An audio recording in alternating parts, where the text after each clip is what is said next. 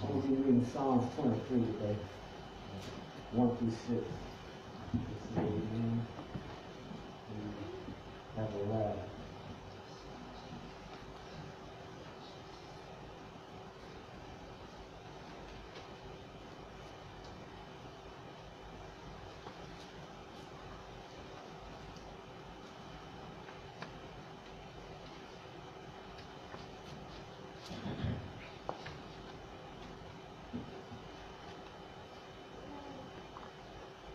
Amen.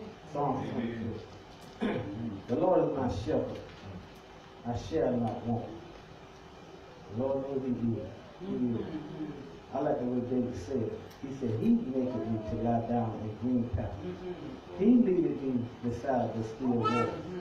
He restored my soul. Yes, yes. He leadeth me in the paths of righteousness for his name's sake.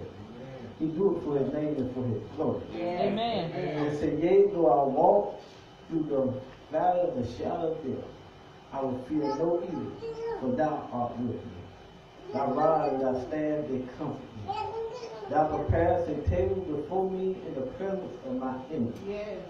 Thou anointest my head with oil, my cup runneth over. Mm-hmm. Lord, Lord, He do this thing where will we go. Where we go. We go right down. And then it says, surely goodness and mercy shall follow me all the days of my life. And then it said, and I will dwell in the house of the Lord forever. Amen. Thank God for reading the Psalm 23 something. We the Lord hand. You